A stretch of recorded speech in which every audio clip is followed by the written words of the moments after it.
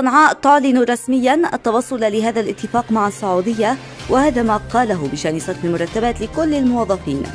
تفاصيل عاجلة.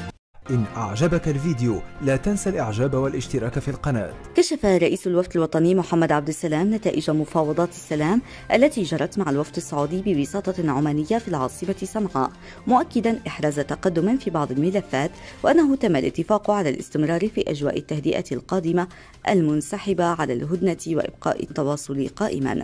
وقال عبد السلام في تصريح صحفي قبيل مغادرة مطار صنعاء الدولي بمعية وفد الوساطة العمانية متجها إلى مسقط. أنهينا جولة من المشاورات مع الوفد السعودي بحضور الوساطة العمانية في العاصمة صنعاء سادتها أجواء إيجابية والجدية وأضاف خضنا مشاورات صعبة ومكثفة جدا. ناقشت قضايا شائكة ومتشابكة في الملف الإنساني والعسكري والسياسي وأحرزنا تقدما في بعض الملفات لافتا إلى أنه لم تستكمل ملفات أخرى وأن الوفد السعودي المفاوض غادر صنعاء لمزيد من المشاورات.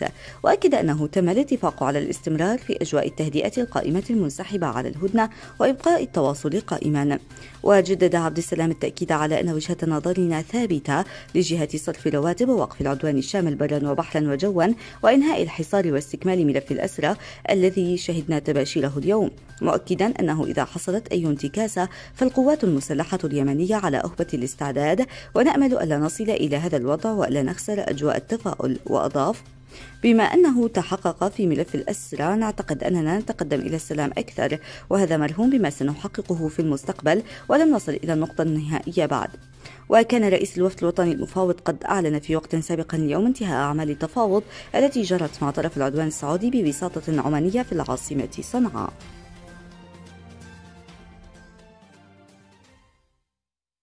إن أعجبك الفيديو لا تنسى الإعجاب والاشتراك في القناة.